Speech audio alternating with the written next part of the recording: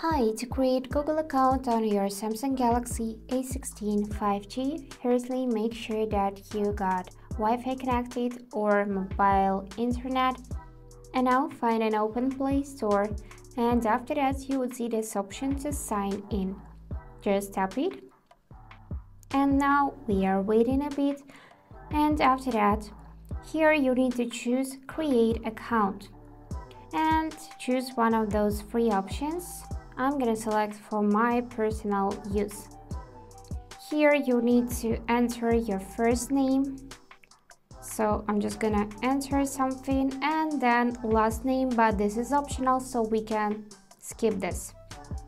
Now enter basic information such as your birthday and gender. So let's just select month, then choose day and after that choose year. Then we need to go in gender and select it. We even got this option rather not say and custom. I'm gonna choose female and let's tap next.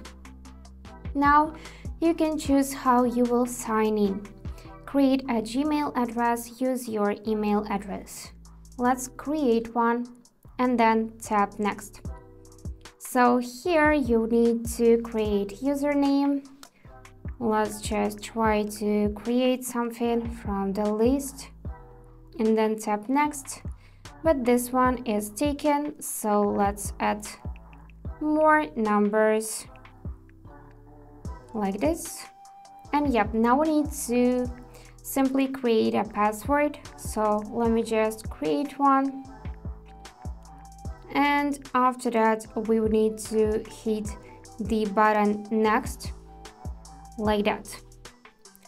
Also, you can add your phone number if you'll forget your password in the future for quick recovery of your account. So here, if you want to add phone number, tap yes, I'm in, or I'm gonna skip this tab. And now you can review your account info. So tap next and choose your settings express in one step or manual in four steps. So in first one, you can choose your settings in one step.